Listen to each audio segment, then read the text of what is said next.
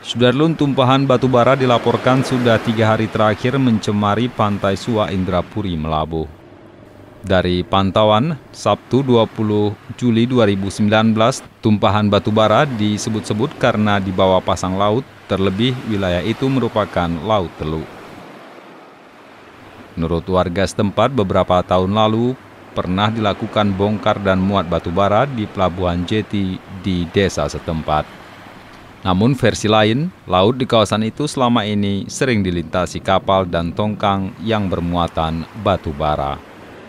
Dari Melabu, Rizwan, Serambion TV.